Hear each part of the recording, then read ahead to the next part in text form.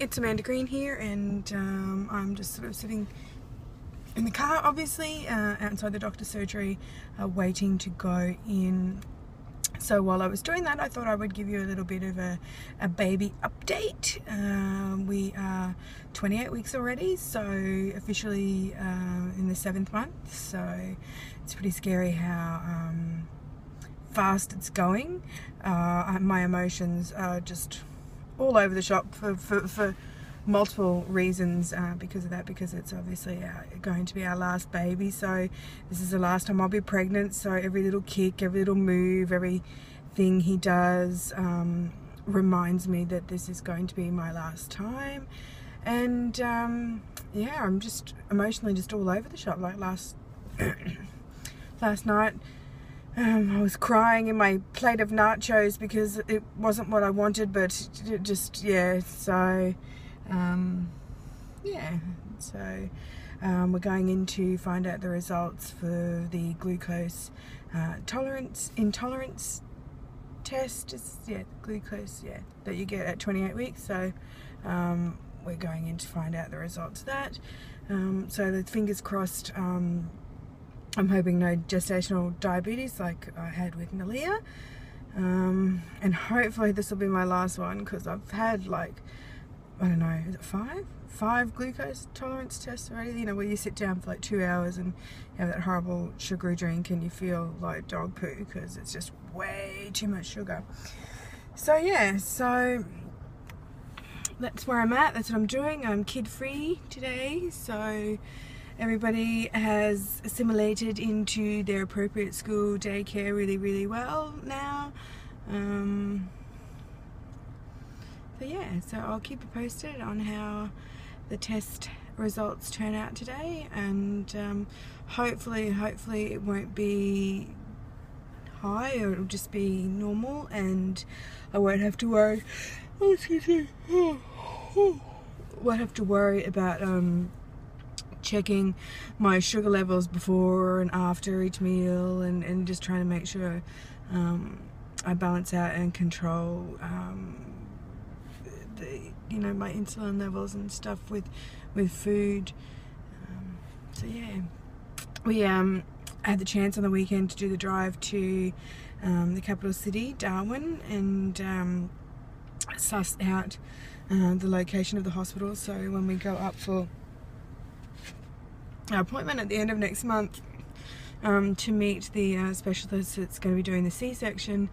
Um, we know sort of exactly where to go and timings and how to get there and stuff like that. So uh, from door to door, so from our place to the hospital, it's going to be like a four hour drive. So we're going to have an early start. Excuse me. To get there at 10 to sort of factor in pee breaks breakfast break, all that sort of um, malarkey. And uh, yeah, but uh, I should I should should also add um, as just a little bit of an update to the pregnancy is, I'm really really feeling it at the moment. I'm shortness of breath quite quickly. Um, I just really can't get comfortable when I'm sleeping. You know, I normally would sleep on my side, um, up. Oh, I mean sorry, yawning again. Um, I'm up under me and um, it's just not working you know like the whole of the next day I've got sort of like pains in the arms and stuff like that. So I really um, am trying to find a, a more comfortable posse to uh, sleep at the moment and yeah, getting up to go to the toilet half a dozen times. Just not so I'm just knackered tired um, and all that whatnot. Plus I've got a four-year-old that's peed the bed the last two nights so um, yeah, that's quite hard. You've got to drag yourself out of bed in the middle of the night and remove mattress protectors and all those sorts of things, sheets, etc. Change them. Um, it's assuming the mattress is dry. The mattress protector, mattress protector last night didn't do its job very well at all. Uh, so she ended up um, obviously in bed with us. So um, yeah, um, I'll let you know how I go at the doctor's. Um, apparently he's at the maternity ward at the moment delivering a baby. Hopefully he's not running too far behind schedule because I'm in town uh, killing time at the moment after drop off. I didn't want to go back home and have the sort of the 20 minute drive. Oh my goodness. Okay, so um, yeah, um, hopefully I'll get a few videos up later on today as well. Um, I managed to tackle some of the the problem areas, zones over the weekend. Uh, the hubby and I really got stuck in and uh, got his computer stuff uh, organised. So we got that out of the kids' toy cupboard and made a space for that and did the first aid section and the linen cupboard and um, on special uh, in the city when we went on the weekend we found at Kmart a, a king size doona or duvet um, and a cover. So I was really stoked with that that we could um, get a solution to that. The master bed looking really shabby crisis that we had going on in there. So um, yeah it was sort of very productive weekend got a few things done and uh, yeah should get some videos up today uh, to show you the results so yeah take care and I'll talk to you soon about the uh, doctor. Hey uh, yeah we've had our appointment. We've been into the doctor um, so yeah back in the car. Um, no gestational diabetes as yet so um, and I did ask whether I will have to have the glucose tolerance test again and he said um, that he didn't foresee um, me needing to have the test again obviously unless, unless something happened you know like serious weight gain or something like that so super stoked about that don't have to worry about testing sugar levels before and after every meal and yeah so really really happy that we managed to um, avoid that one um, and the baby's looking good, heartbeat.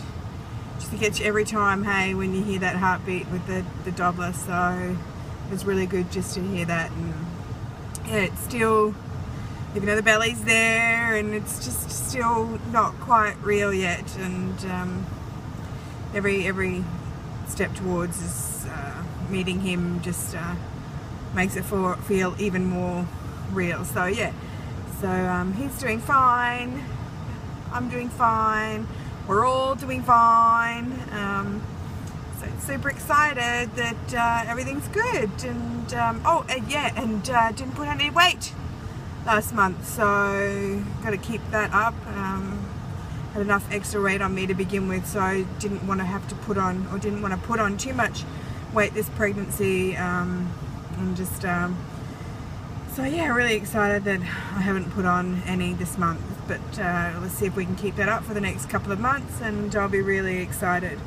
So don't have to come back for another two weeks and then uh, see the specialist in Darwin in three weeks and then the doctor every two weeks thereafter. So visits are getting closer now and um, it's really getting very exciting. Take care, Amanda Green.